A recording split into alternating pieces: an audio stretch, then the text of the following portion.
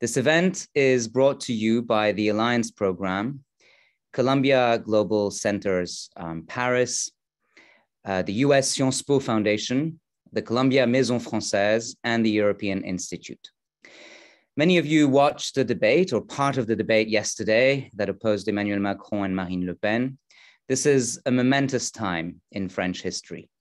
The stakes are very high, and the consequences of this election could be wide ranging for France, of course, but also for Europe and for the rest of the world. To analyze where we stand today and what to expect in the coming days, we brought together a high powered panel of speakers who will help cast light on the current political landscape. The discussion will be moderated by Alexis Buisson. Alexis is the US correspondent of the French daily newspaper La Croix. He also works for several other French speaking publications Le Point, Télérama, Mediapart, La Tribune de Genève. From 2011 to 2019, he was the managing editor of French Morning. Many of you are familiar with this publication. He wrote um, a guide to moving to New York, S'installer à New York, and is the author of an upcoming biography in French of Vice President Kamala Harris. Alexis is a graduate of Sciences Po and has been living in New York since 2007. Alexis, you have the floor. Thank you. Thank you, Emmanuel. Bonjour à tous. Thank you for uh, inviting me uh, to moderate this debate. It's a pleasure uh, to be here. And obviously, I think we can all agree it's been a strange uh, campaign. Uh, campaigning started late. It was overshadowed by the war in Ukraine. But here we are. Uh, there is three days to go until the second round of the French presidential elections. So the, the faces are familiar. They're the same faces as in 2017. Emmanuel Macron on the one side, the incumbent president, and Marine Le Pen, uh, the far right candidate from Le Rassemblement National. Faces are the same, but obviously the country is not the same. Uh, there's only there's a war now, uh, as we know, only a few hours away from Paris. There was the COVID crisis, and Emmanuel Macron is not a new candidate anymore. He has a record uh, to defend now. And that's what we're going to speak about with um, the three panelists that will be uh, joining me uh, today. Where things stand uh, today, what uh, does this election say about the current state of the electorate, um, of the French electorate? And uh, as the campaign really enters its final days, I just wanted to uh, show you the results of the first round of the election, just to remind everybody where things stand. So um, obviously Emmanuel Macron and Marine Le Pen arrived first, 27% of the vote for Macron, 23.1 for uh, Marine Le Pen. Um, the third position goes to Jean-Luc Mélenchon, 25, 21.9%, almost 22%. He's considered the far left candidate in uh, this race. 7% for Eric Zemmour, who was coined uh, the, the, mini, the French Trump or the French mini Trump. Um, and then we enter uh, the group of candidates that are under 5%. As you might know, the 5% threshold is very important in French politics because under that threshold, uh, campaign expenses are not reimbursed. Uh, and of course, the group, that group of candidates is pretty interesting. Um, Yves Jadot, the Green candidate, is at 4%, uh, just behind Valérie Pécresse. Uh, she uh, like Anne Hidalgo, uh, was one of the representative traditional parties, uh, Valérie Pécresse being the candidate of Les Républicains, and uh, Anne Hidalgo, who is um, above 1%, uh, was uh, the representative of the uh, Socialist Party. Um, obviously, these scores are a huge blow for those traditional parties that have dominated the French political landscape for decades and uh, obviously we'll be uh, speaking about uh, those scores in, um, in this panel. So um, without further ado, I'm happy to welcome our panelists. Um, Florence Haegel, bonjour Florence. she is a professor of political science at Sciences Po. She is the head of the Center for European Studies and uh, Comparative Politics her research focuses on political parties and more uh, specifically on uh, the transformation of the French uh, right, uh, which was in fact um, the subject of one of your books, uh, Florence, Les droites en fusion, which came out in 2012. Um, merci d'être là. Isabelle Guinaudeau, is a CNRS political scientist at the Centre Émile Durkheim at uh, Sciences Po Bordeaux. Uh, her work is about electoral studies, public opinion, and uh, public policy. She's involved in several uh, collaborative research projects uh, focused on political platforms or agenda. Um, she was uh, the principal investigator of Partipol, of the Partipol study, which is a large project on partisanship in policymaking. And last but not least, Vincent Tiberj, Hi. a university professor and researcher at Sciences Po Bordeaux. Uh, he is a specialist uh, in uh, of electoral sociology, political psychology, and he has worked on voter behavior in France, Europe, and the United States. And of course, uh, Vincent, your expertise on the youth uh, votes uh, will be, I'm sure, pretty pretty interesting in in this panel. Um, before we dive into the questions, uh, one last, uh, one last uh, uh thing to say uh, that if you want to ask uh, your questions to our panelists, feel free to leave us a short question in the Q&A box on Zoom. Um, and I will make sure to get to those in the second half of the, the panel.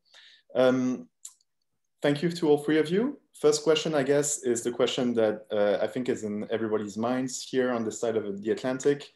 Um, what is the likelihood uh, that France uh, will have a President Le Pen on Sunday? Um, who wants to start? Vincent?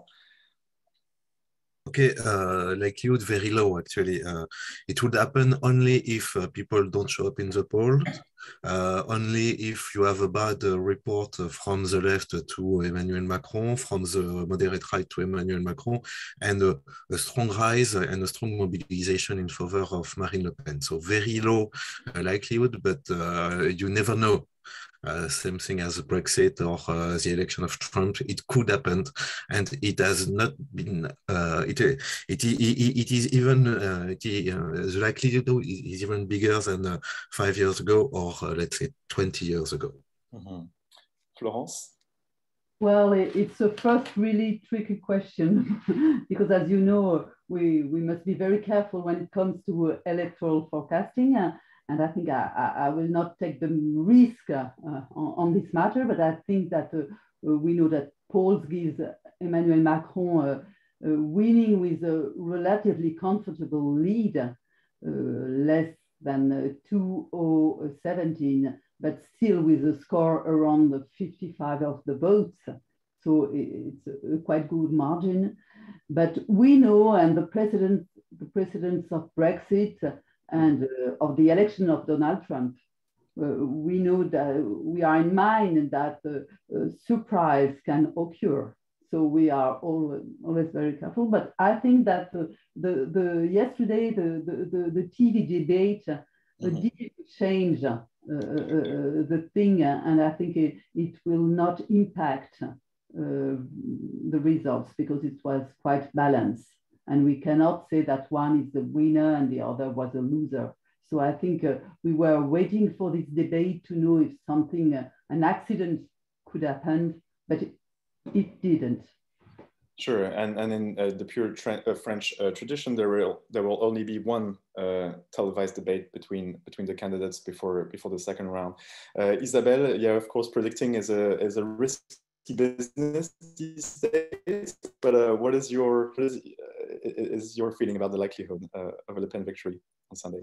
Uh, like my colleagues, I would not dare to make uh, any firm predictions. I mean, in some cases, it's easier.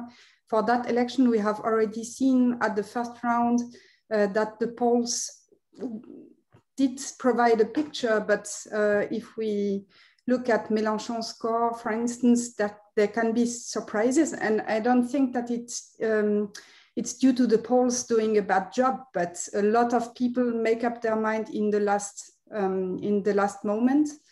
Um, and we we we did know that among the left uh, left wing voters uh, there was a lot of incertitude. And again, we see that among, especially among um, Mélenchon's voters, there are a lot who are still uncertain what they will do. Mm. Uh, around the first rounds, we had a very short lead polls have been consistently predicting a lead by Macron. So I would agree that this is the most likely uh, scenario. but the lead um, has been very short around the first round and uh, the margins of errors have been overlapping. So there was an unlikely but still possible scenario. And like uh, Vincent said, I would say at, at the first round, I would have said it depends on what happens between the two rounds. Um, I would agree that the TV debate will not change, um, will not change much um, the, the outcome. Um, and yes, and um, it will also depend on the on the on the ability of Macron to move the left left wing uh, voters to oppose uh, the National Front. Mm -hmm. And you were uh, speaking of the Mélenchon voters, uh, and they are uh, obviously divided between uh, not voting or voting Macron or even voting Le Pen in some cases. Yes, we have seen very clearly Zemmour and Dupont-Aignan on the far right calling to call for mm -hmm. to vote for Le Pen. Um, we have seen left-wing candidates calling to vote uh, for Macron and opposing Le Pen. Uh, Mélenchon said not a single vote for Madame Le Pen. He mm -hmm. did not say uh, explicitly, uh, he did not call to vote for Macron. And according to the polls, there were, but there are now less, but immediately after the fir first round, there were a significant number of uh, Mélenchon's vote, uh, voters who considered to not to not to vote, to abstain, or even to vote for for Le Pen, um, which can be explained by perhaps less by support uh, for Le Pen, but by the detestation of Macron, who was very unpopular by the end of his mandate. And it, seems to be a pretty uh, interesting feature about this election. It, seems that the, the candidate who will vote, uh, who will uh, win on Sunday, will probably be the less uh, detested, if I may say, uh, candidates of, of, of, the two. Um, I, I, was curious to have your opinion on the first round, and maybe Andrew, you can pull up the results that I was showing earlier. And I was curious to have your opinion um, as to whether you were surprised by some of the things that you saw coming out of, of the results um, of that first round. These are not polls, these are definite results. Um, Isabelle, maybe you want you want to kick us off. Um, what I was surprised mostly, um, perhaps three three things. Perhaps abstention was not as high as was expected by many observers, even even if it's higher the, than the average. We did not reach the levels of abstention of the 2002 election. But what was most surprising, in my view, was the um, score of Valérie Pécresse. Um, we have seen uh, the disastrous score of the Socialist Party already in 2017. This election, we have seen that both traditional mainstream parties who used to be the two parties in the second round have been eliminated and do not even reach the 5% um, threshold. Uh, and this is uh, I think one of the big issues of the of the election, uh, how these parties are going to to survive, and uh, and um, of course I was very surprised um, by uh, Mélenchon's score, who uh, that was very very uh, far far above the the predictions in the polls. Mm -hmm, mm -hmm. Florence. Well, I think part of the result of the first round confirmed and amplified the transformation we have seen in 2017. So it was not a, a, a real surprise because we already knew that the, the French party system was organized with a tripartition as far as uh, uh, ideological uh, structuration uh, is concerned. So uh, I think it, this is quite important because it's a sort of a, a structuration of, uh, of the party system in the three major blocks.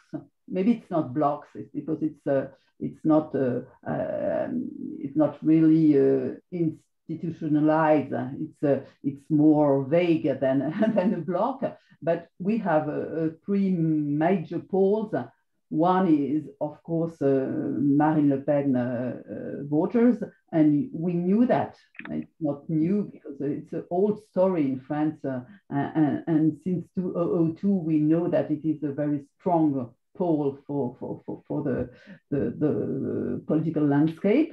And we have a, a, a, new one since 2017. It's what, what we can call a liberal cosmopolitist pole with Macron, or we can have other words. Some of our colleagues have other words, but it's, it's uh, the, the, the, the liberal in terms of uh, economy, in terms of politics, in terms maybe of cultural things, but it's also uh, very pro-European.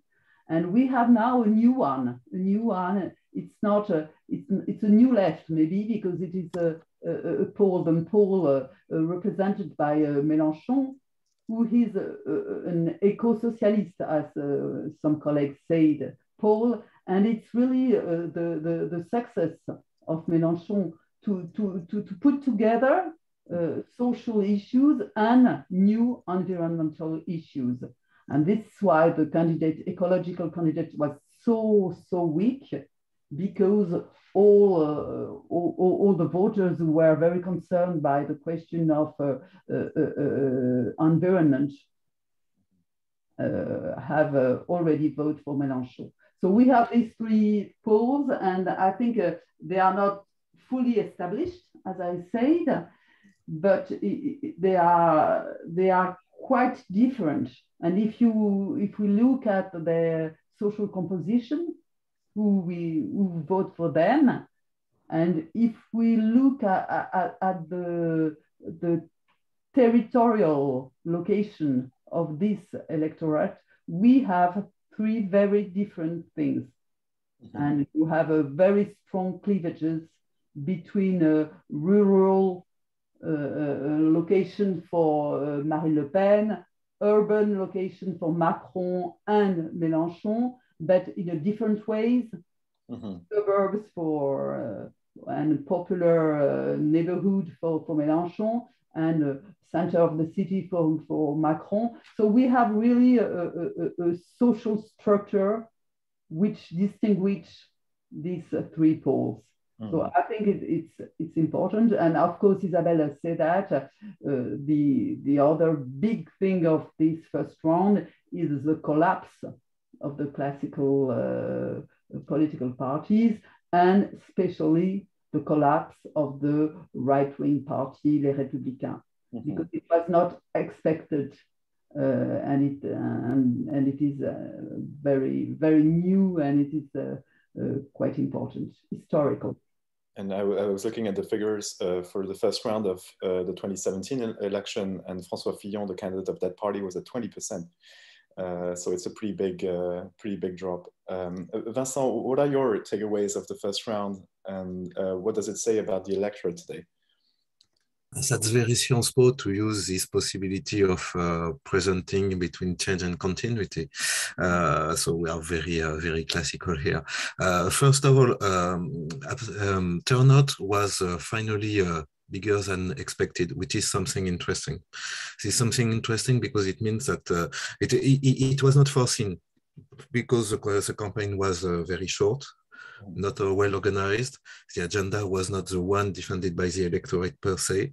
Uh, the main candidate, Emmanuel Macron, decided to run a very very uh, late during the campaign. He was not actually campaigning until uh, two weeks before the first round.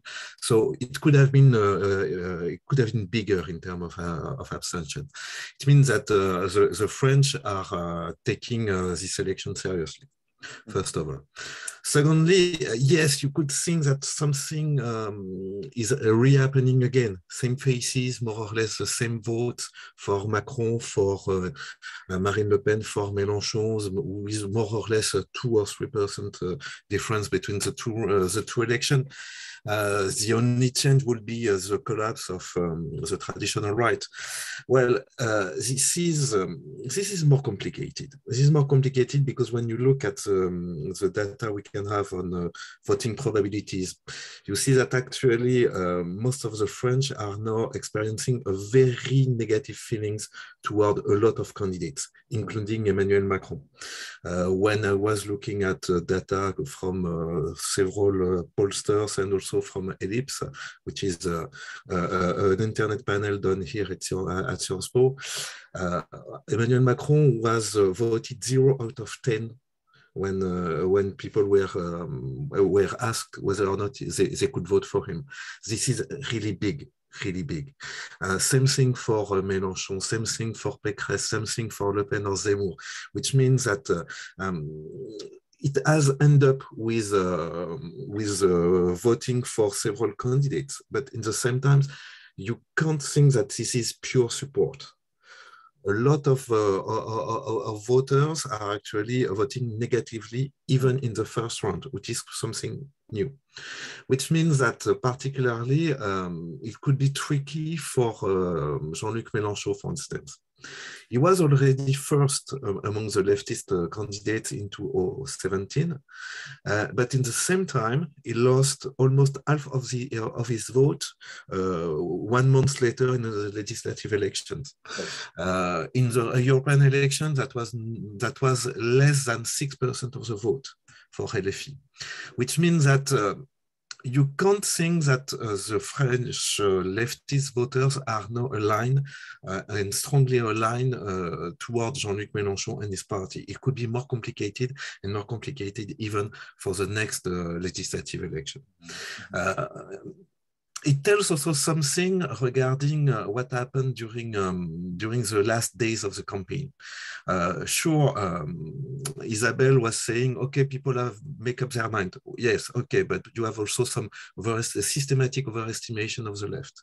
Nevertheless, you have three vote utile was actually uh, reinforced the three uh, front runners, which is Emmanuel Macron uh, uh, stole some some of the vote of Valérie Pécresse, definitely. Mm -hmm. Mm-hmm. But the, the, same thing has happened between Eric Zemmour and Marine Le Pen, and same, same thing has happened between uh, the, the uh, Green voters, the Socialist voters, and uh, Jean-Luc Mélenchon.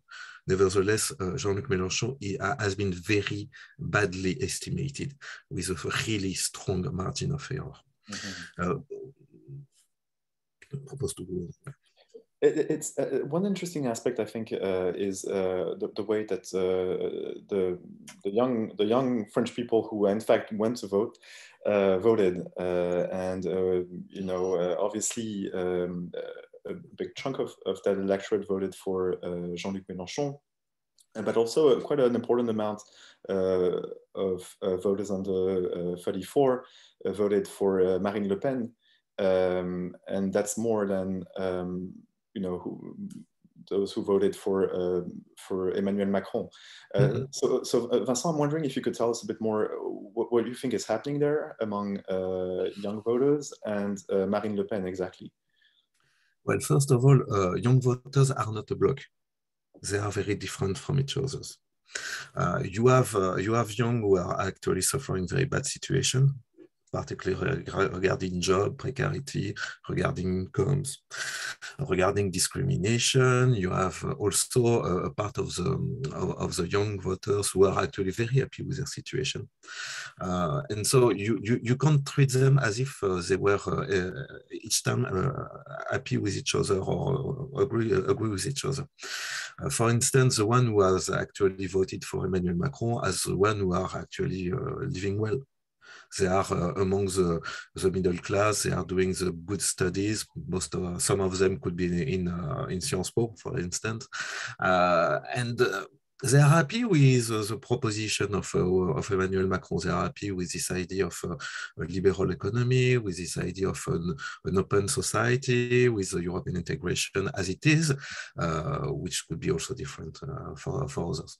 Um, what is also interesting is that uh, Jean-Luc Mélenchon was able, and usually that's not the same, they do, either they don't vote or they don't vote for the same candidate, but he was able able to bring together both the young from the uh, deprived neighborhood, but also the young from the Bobo neighborhood, uh, the, the, city centers, uh, very connected with with the world and very happy with diversity, etc., etc. This this um, center turn youngsters who are, who are actually fighting for climate, etc. Mm. So Jean-Luc Mélenchon was able to, uh, to, to bring these people together because he was also able to talk to uh, both the environmentalist, both the social and both the cultural activists, which is something uh, interesting. Last but not least, you have uh, you have the Le Pen voter and the uh, and the abstainers, and uh, both share some social features they are they are the less um, the less educated in a very educated uh, generations.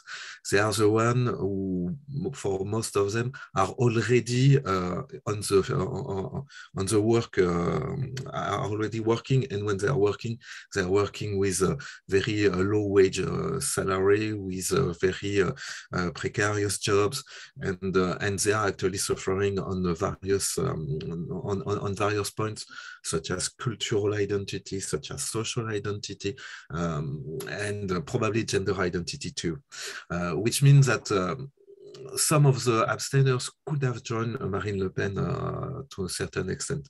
Uh, but uh, what is really um, dangerous for the French democracy is that uh, these abstainers are now also um, does not show in, other in other in other way of voicing their message. They don't participate in trade unions, they don't participate in demonstrations, they don't participate in protestation. And this, uh, this part of uh, a silent generation are actually, um, are actually uh, troublesome when you think in terms of social inequalities. Mm -hmm. Florence, do you want to react? Well, I, I agree with, with Vincent, and, and, and uh, I think there are different type of uh, youth, of course, and they are really divided. And also you, you emphasize the fact that uh, abstention was massive among the youngest, uh, reaching very, very uh, uh, high percentage. And I'm sure abstention will be very massive also on Sunday among young people. So it's also an important thing. Well, um, I, I just want to add something about um, Marine Le Pen electorate. Que one of our colleagues, Nonna Mayer, uh, studied the, the gender gap among uh, uh, uh Le Pen electorates.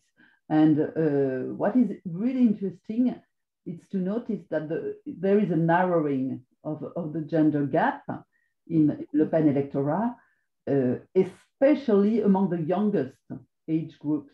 And traditionally, men uh, voted more for Le Pen and women less. And it was very strong when it was the father, when it was Jean-Marie Le Pen.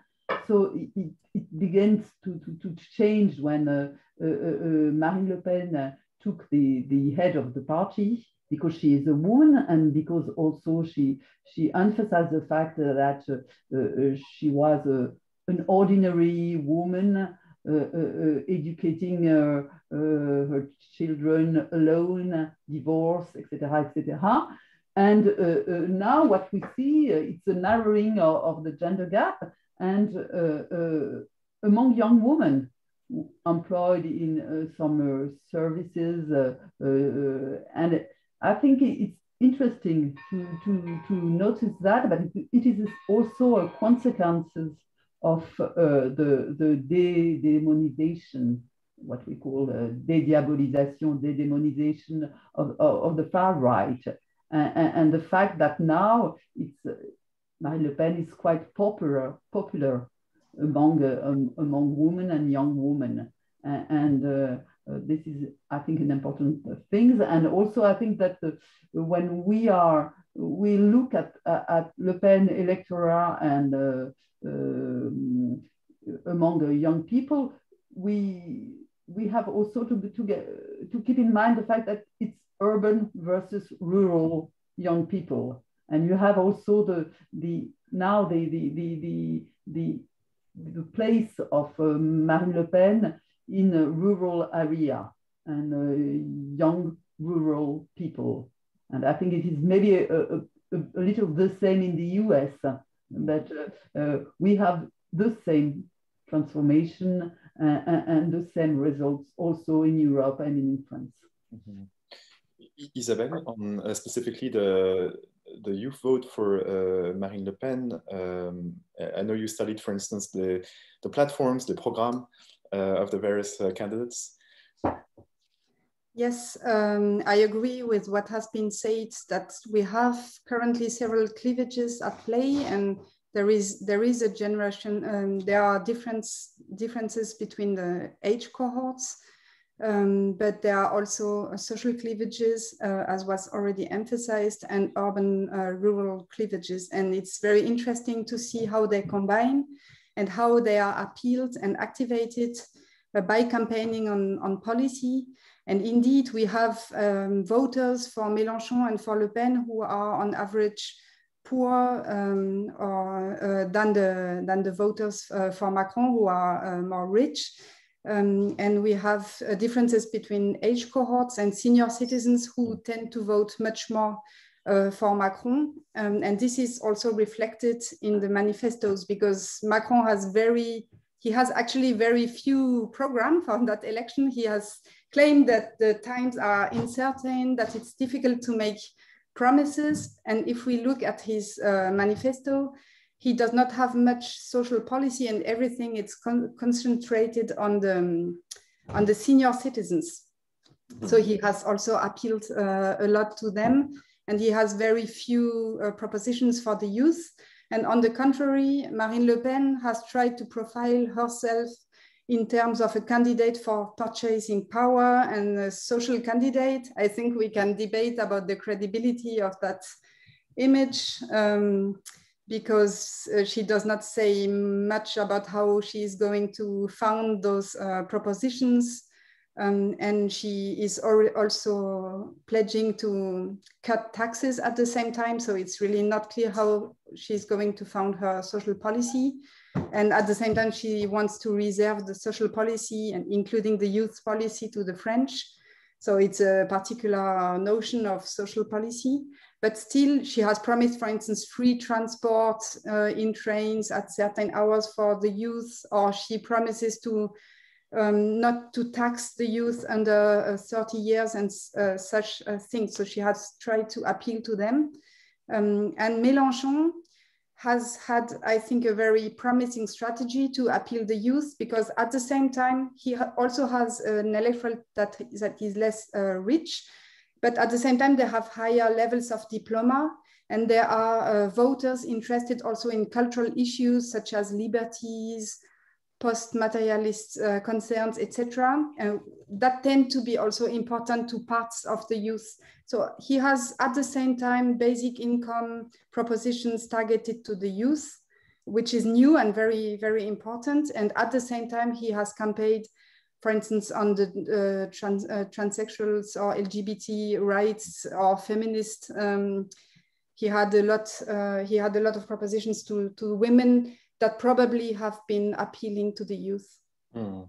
And, and, you mentioned the question of purchasing power, which was a, a top priority for, for French voters. I'm wondering, you know, go, going into the second round, uh, we're seeing kind of Emmanuel Macron uh, trying to be more present on, on social issues. And uh, I'm wondering, um, out of the two candidates, uh, is um, how, how who will carry essentially the the social uh, the social issues uh, that were once defended by you know left wing parties that are not represented in in in the second round. I, I, guess another way of putting it is yeah who what is the room that will be given to to social uh, social policy in, in in the second round?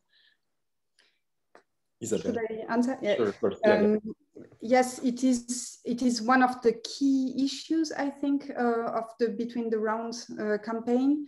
Uh, it has already been very important. Uh, we know from the polls that purchasing power is a top one priority top one concern for the French, so it's very important. And Marine Le Pen's strategy has actually been not to campaign on so much on immigration. I mean, everything on immigration, she has always said is still in her program if you look at it, but she did not emphasize it. And she did not need to really emphasize it because she had uh, Eric Zemmour in particular, but also Valérie Pécresse, who emphasized immigration all the time. And I think uh, Marine Le Pen benefited from it without having herself to campaign on immigration. And um, because of that, she had room to campaign on purchasing power and social policy. Mm-hmm. Um, and she tried to profile, her, to profile herself as social and to gain new voters among the most needy, um, uh, the most needy uh, voters. Um, probably it is it can be a topic in which she can try to appeal to the left voters um, this could be risky for Macron because if you have right-wing voters supporting Le Pen because of her cultural stances on immigration, etc., and left-wing voters refusing to support Macron because he has pursued a very neoliberal agenda, five years uh, long, then uh, it could be difficult. So I think Macron's strategy, indeed, to emphasize Mm. environmental protection. He has emphasized um, parts of his social policy also yesterday in the debate, like right. the salary of the teachers, or um, also the idea uh, to automatically give social aid without people having to, to ask for them. It, it would be a very important step and very social step.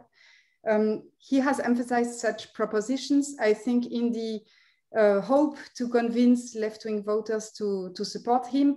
I don't know how many people will be convinced because it's a very late move um, and it is quite at odds with the policy he has uh, implemented five years uh, long. Mm -hmm. Vincent, I, I, see you, uh, you were nodding a few times. Um, what are your thoughts about, about yeah, um, uh, um, Emmanuel Macron is not anymore a blank page which means that he he, he, he has um, he has done he, a lot of things. He has made some move. He has made some change, and he's very happy with this kind of change. Uh, and that was uh, clear during the last uh, last night debate uh, regarding, uh, for example, the unemployment reform, regarding his idea of a pension reform, etc., etc.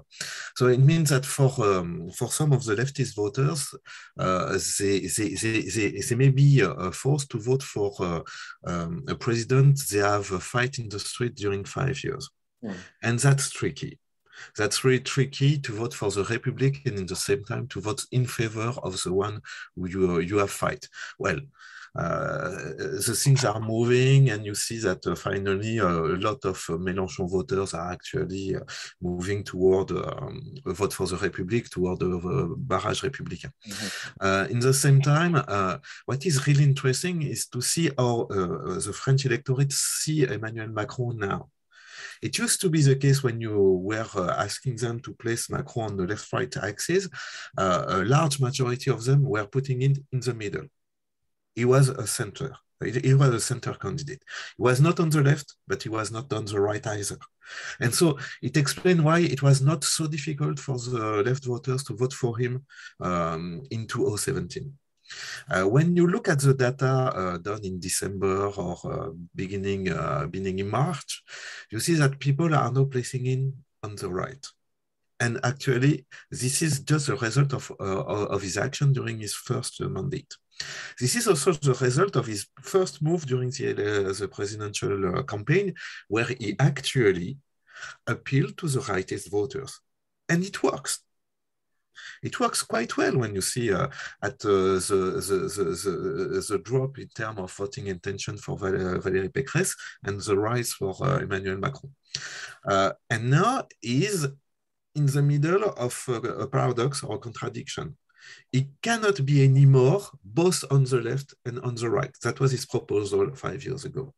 And uh, this is why actually in Marseille, he made this move toward uh, uh, envir uh, environment and uh, he talked about uh, um, nominating a prime minister who will be responsible for ecological planning, etc., etc., because it was a possibility for him to to uh, set up the score and to move to another dimension of the cleavage. Mm-hmm. Trouble is that he has also um, he, he, has also uh, a bilan regarding uh, regarding environment and is not considered as a good one. So at the end, you you you, you see that uh, he may be re-elected, and that will be probably uh, this is a, that will be an historical success. It has not okay. been done by a French president since Charles de Gaulle, and so it has to be kept in mind. But in the same times, you you see that uh, he will be elected, but without a clear mandate, or at least without a mandate for a strong policy platform, which mm -hmm. is really interesting to see. Mm -hmm. Florence? Maybe I, I, I, just want to, to add uh, something. Yes, I agree totally with, with uh, my colleagues because uh, uh Macron has implemented some right-wing po policies, uh, right-wing policies. And I, I, just want to add, he, he has also governed with two right-wing prime ministers.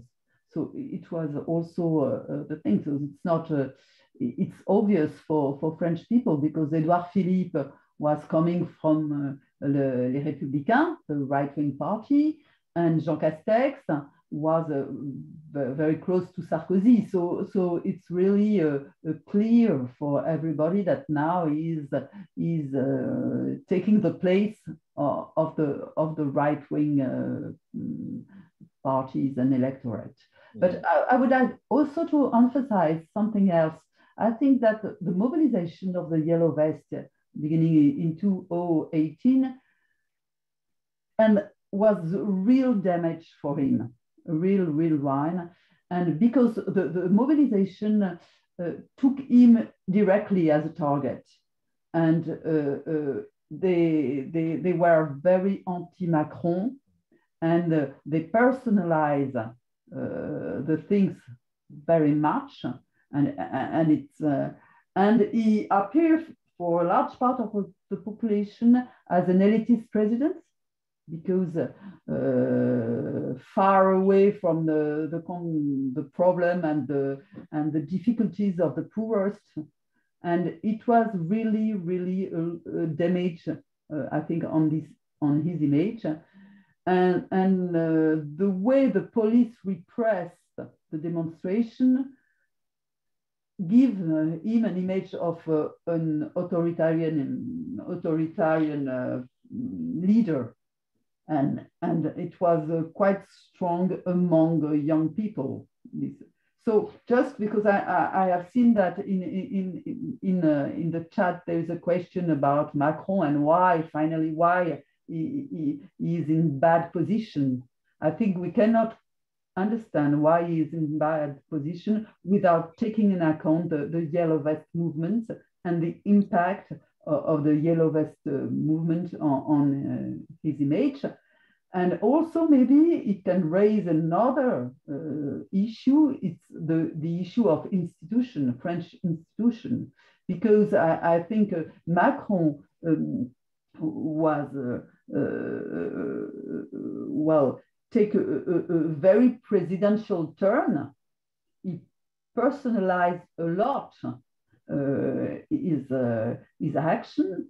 And finally, this is his problem because uh, I think, and this is not a, a, a, a problem of, uh, of conjuncture. It's also a structural problem for French institution. And I think that after this uh, election president this this election sorry we will have to to to do something uh, a reform uh, an institutional reform because it cannot work this way and i think we we, we have a, a good example of that so I want to get to a few questions uh, in, a, in a moment. Uh, keep them coming. If you have any questions for our panelists, feel free to ask them in, in the uh, question and answer box.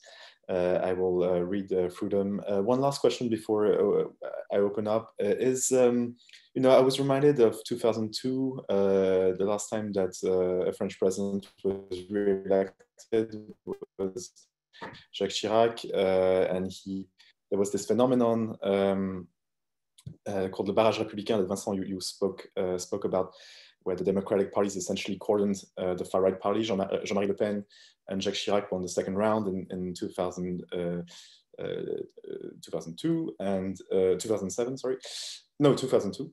And, and Jacques Chirac was elected with 82% of the votes. Um, one thing is sure is that nothing, nothing like this will happen on Sunday. I'm wondering uh, if you could briefly uh, tell me why, if the barrage républicain, this very French concept, is a, is a thing of the past now. Vincent, you want to start? Yeah, I, I, I, want to just make it more complicated. Uh, first of all, um, you, you, you have to keep in mind that uh, on the long run, the uh, French society is less and less racist and more and more tolerant toward immigrants, toward diversity, toward multiculturalism.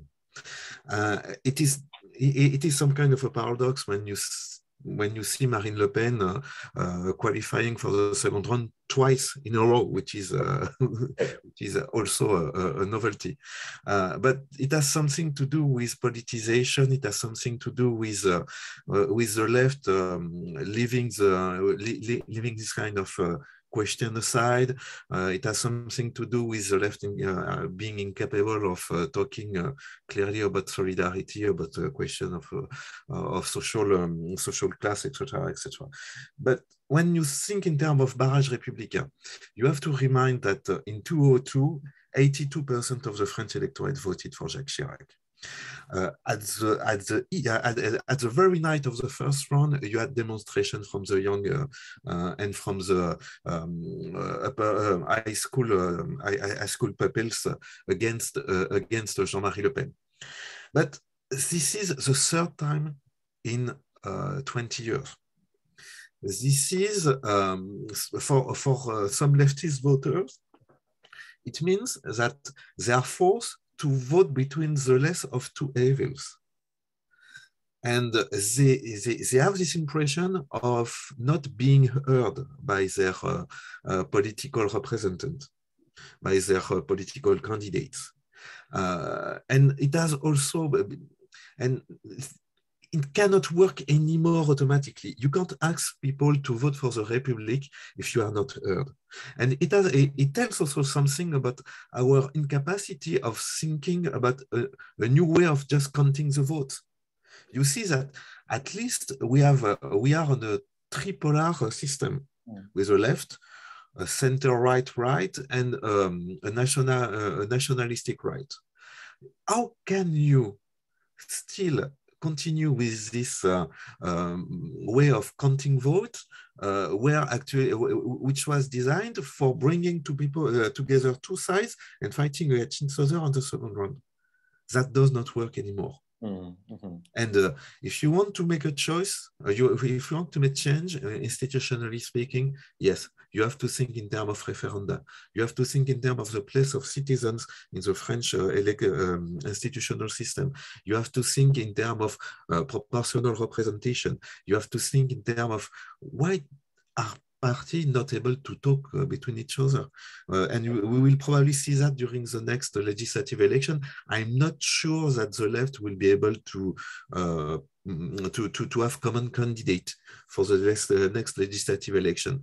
I'm quite sure that will be very tricky, complicated, and at the end, it will mean that this side of the political spectrum could not even be uh, represented in the National Assembly. So, so Vincent, this is uh, the perfect segue in, uh, into the, um, uh, the questions from the audience. Uh, we have one question by Olivier uh, about the um, elections législatives, which, is the, which are the elections at um, the National Assembly. usually the legislative elections give the new elected president a majority to govern. Uh, do you think that there could be a surprise at the next legislative, opening a sequence of cohabitation? That's when uh, the head of the government and the head of state are of different parties.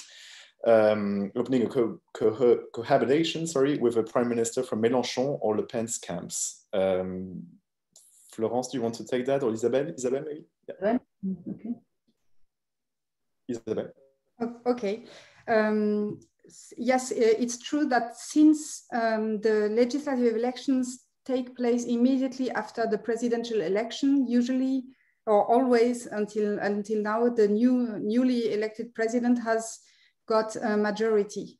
Uh, and it's the big question what will happen. And in the end, it's very important because, from a constitutional point of view, the government is based on the parliamentary election. So uh, president without a majority will not be able to, he, he will have to concentrate on high politics and, and foreign policy, etc., and will have far much uh, less uh, policy impact. So this would change everything.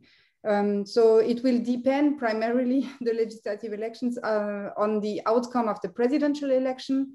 And if we depart, I think for Marine Le Pen, it would still, because of the logic of the Republican front, which is not that strong um, as, um, as 20 years ago, but still works uh, in many cases. It will probably be difficult for Marine Le Pen to get a majority. Mm. If Macron is elected, it's also unclear because he's very much uh, hated in the, or he has, he's, he's not popular uh, at all. It could also be difficult for him uh, to get a majority. But what I would see coming, I would not see what majority, if you count the left votes, all the left votes, and if we assume that the left wing parties all ally at the legislative election, which is, as uh, Vincent has just emphasized, very unlikely, not to say impossible, if we look at the at the negotiation or the, the, the state of the discussion. We can discuss why it is like that. I will not enter into the details. Then still it would be difficult to have a majority. So I would not, I would see less an alternative or uh, majority than um, the constraint for Macron to build uh, or for Le Pen um, it's difficult to, to figure out, but okay. to build a majority in coalition with another party. And I think it may be possible because of what Florence has said to do that with the right, uh, right wing uh, fraction. Florence, do you want to add anything on yeah, just to, to add something. Isabelle uh, uh, remind us that the government is based uh, on, on legislative election, I would like to add that the party funding also is based on, on uh, uh, legislative uh, election. So that's why uh, legislative elections are quite important in the French political system, even though we have a big presidentialization, of course. Well, never mind, uh, uh, legislative elections are, are, also quite important. And um, I think, as, uh, as uh, Isabelle and, and Vincent said, they are very much more, more complex than presidential election, much more complex to analyze, much more complex, complex to predict, because they, as you know, they depend on local situation and they depend on candidates, on their local roots, they are also, uh, I think, uh, uh, complex because uh, in different constituency, you will not have the same uh, uh, configuration of candidates. Right. Sometimes we will have three candidates, what we call a triangulaire. sometimes we will have four or five. So it's quite complex to, to, to, to, to imagine what can uh, uh, uh go, uh, what can go the, from that. And also I would like to emphasize the fact that on a legislative election, the voting system is really very strongly disproportional. So we have a very a big difference between votes mm -hmm. and and uh, uh, uh, the first one to come out get a very big advantage. And I want just to, to, to remind you that, for example, in 2017, Emmanuel Macron won 32% of the vote and he got 60% of the seats in the parliament. So that's yeah. why he, he, can get a majority, but you know, it's, it's really very disproportional. And I think that's why uh, maybe we are just uh, thinking about a way to, to, to get that uh, more proportional. I, want to, uh, I want to get in uh, two, two other questions from the audience. Uh, and maybe this is an opportunity for, for Vincent uh, to clarify what you what you said earlier. Um, Sashi is asking, uh, can you please clarify again the point made that the French electorate is less uh, racist, even in the face of the popularity of Le Pen? Uh, and yes. Uh, sorry, there was a kind of a similar question uh, by Marie. Um, do you think that there's a bit of a denial about how deep um, about sorry about how deep and ingrained in French society some of the ideas of uh, Marine Le Pen and the far right uh, are. Well, uh, I, I, know this is complicated, um, but when you look in the long run, for instance, uh, I, I, mostly rely on the yearly uh, barometer, which is uh, which is addressing question of racism, anti-Semitism, Islamophobia, etc., etc. This is a yearly barometer done uh, with my colleague uh, Guy Michelat, Nonna Mayer, Tommaso Vitale, etc. And we have it since the beginning of the 90s. And when you look at uh, how people um, how people react when you ask them, uh, is there too many immigrants in France? Are the children of immigrants French like the other? Is uh, immigration the main source of insecurity?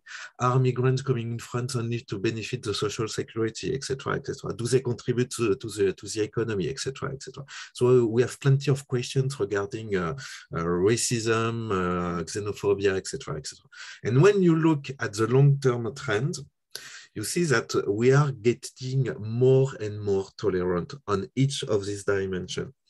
And, and you can understand why, because this is fueled both by the way uh, level of diploma is increasing in our society, just like in the US. You see also that there is a, a strong impact of generational renewal, meaning by that, this is the oldest generation who used to be the, the, the most xenophobic and they are leaving the scene.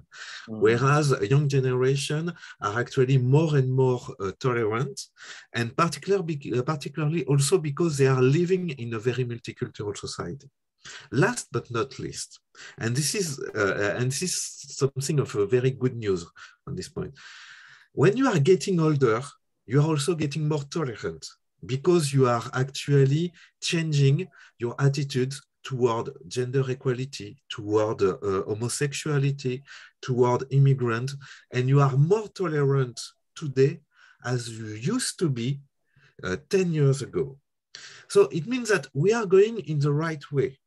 But in the same time, when you look at the evolution of the National Front vote, what you see is that the National Front would have probably been a dominant party if people were voting uh, regarding their uh, attitudes toward uh, migrants and uh, multiculturalism. It used to be uh, that people were not voting about these issues. They were voting about other issues, such as social redistribution, income inequalities, etc. Uh, the politics have changed in France, and now with the National Front and with the Rassemblement National, uh, people are also voting, basing their vote on this kind of values. Which means that we are actually uh, seeing the people who are losing they are, they are both uh, able to qualify for the second round. If the same voting trend was applying in the, in the 80s, it would have been a large majority in favor of Jean-Marie Le Pen. But because they have, their, their vote is not grounded in the same values, yes, okay, the National Front is getting votes. But that does not mean that he, he, he will be in the possibility to get 50% uh, of the vote. Mm-hmm. When you uh, when you see the opinion poll for the second uh, for the second round, when you see that Marine Le Pen is almost as big as uh, Emmanuel Macron, Yes, but for, uh, don't forget that a lot of people say they will abstain, and these people who abstain disagree with uh, Marine Le Pen regarding issues of immigration, uh, multiculturalism, etc. Uh-huh. Interesting. Thank you for the clarification. Uh, one last question and then we'll close. Uh, and maybe this is for Isabelle, since you've looked into the, the platforms uh, more precisely. Uh, question from Stefan. Uh, how strong a leadership role will Macron play in NATO? And how damaging would Le Pen uh, be?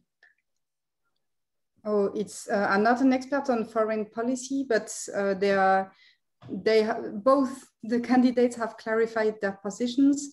Marine Le Pen has always been very mm. uh, skeptical as to any international commitment. She is very firm on national sovereignty. She has a bit, um, or, she has put more nuance as to European integration, at least seemingly. It is the it is not addressed in her program. I think leaving the NATO is in her program, but or at least she has taken explicitly uh, this position. I don't know if in the current situation she is going to, she would be going to leave the NATO immediately.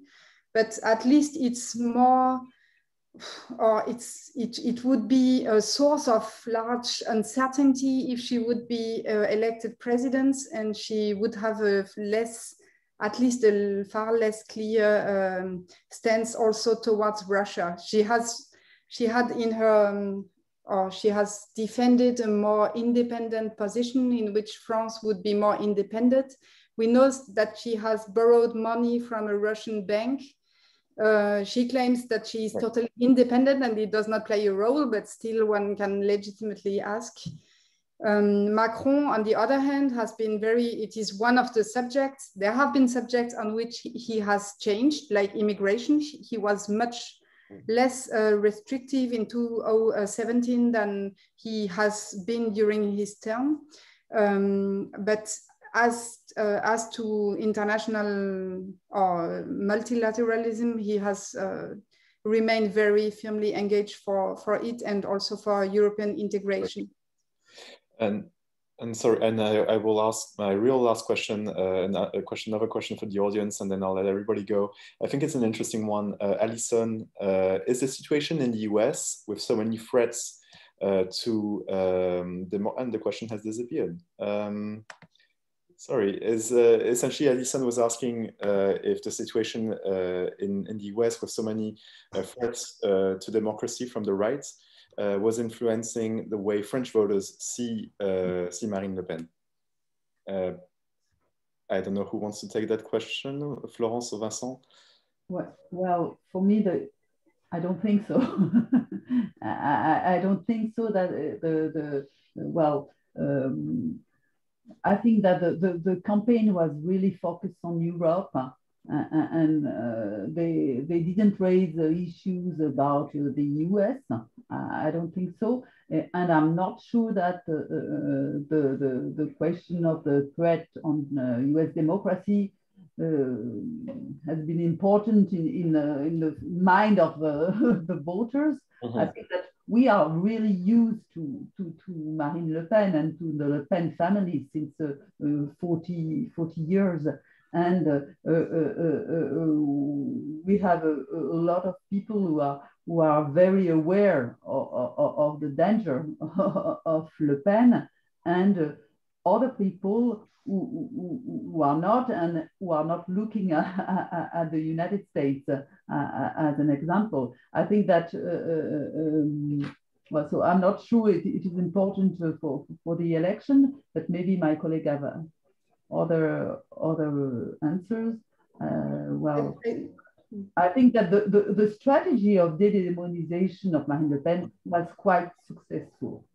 Uh, for a lot of people. We can say that. Uh, uh, and well, Isabelle, you can you can answer the question. Isabelle or Vincent, yeah. Isabelle? I think I think uh, it depends also on the voters. Um, there are a lot of voters who say, "Finally, we never have tried Le Pen. Let's try and see." Especially people who have nothing to lose. And on the other hand, there are many people who say, "Okay, well, we have perhaps not tried, but Orban, uh, Bolsonaro, Trump, etc., have been tried.